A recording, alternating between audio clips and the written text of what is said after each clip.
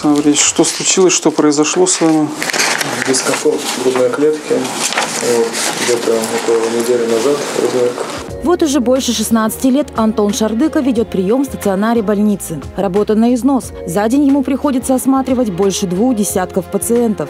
Больше психологическая усталость от э, того, с чем ты сталкиваешься ежедневно. Это боль, слезы, горе людей, э, которые просят э, помощи. И, безусловно, все это накапливается и требует некого выхода, который я вот нахожу в каких-то своих различных увлечениях. Лекарством для врача стало пение. Сначала почитателями его таланта были только члены семьи и друзья на семейных застольях, а шесть лет назад Антон открыл для себя караоке. Сегодня пунктуальный врач, как по расписанию, два раза в неделю лечит нервы в караоке-баре. Спасибо большое за консультацию.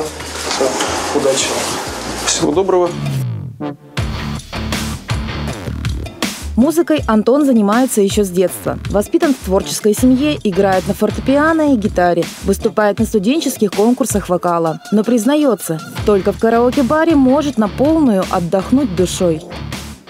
Дмитрий, э, сейчас э, чуть-чуть прибрать высокие частоты и немножечко холла добавить, я думаю, что будет в самый раз. Можно послушать самых интересных вокалистов, так скажем, которых не увидишь на экране, но которые иногда поражают тебя своим умением, своим искусством и своей энергетикой. Почти во всех конкурсах караоке певец в белом халате занимает призовые места. Перед Новым годом он даже вошел в число финалистов и народного конкурса караоке на ОТВ. Выиграл в том году конкурс э, в 17-м. Караоке областной. Ездил на чемпионат России по караоке. Вошел в пятерку победителей по всероссийском конкурсе караоке. То есть, в общем-то, это для меня действительно отдушина.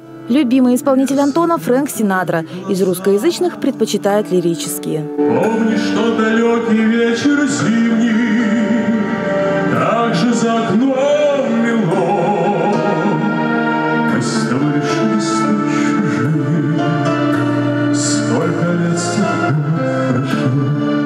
Антон уверяет, что посетители караоке часто встают и покидают караоке-заведения, как только он берет первые ноты. Шутит. Наверное, не выдерживают конкуренции. А вот истинные вокальные эстеты часто просят Антона исполнить что-то на бис. Не похоже на тебя, не похоже на меня, Просто так прохожий парень, чернокожий.